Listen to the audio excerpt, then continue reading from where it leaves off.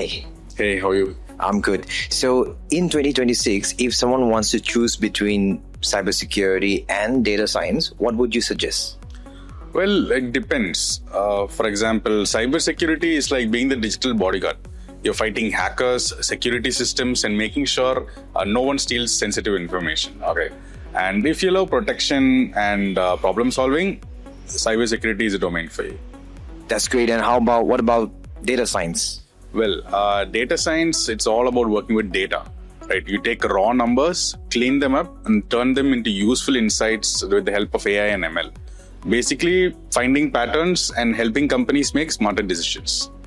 And what if one can uh, get into these roles? What can the salary expectation would be? Okay, salary expectations uh, range from 10 LPA to 40 LPA, and depending on the uh, years of experience you have and the expertise, it can go up to even 50 LPA. That's a great insight. Thank you so much.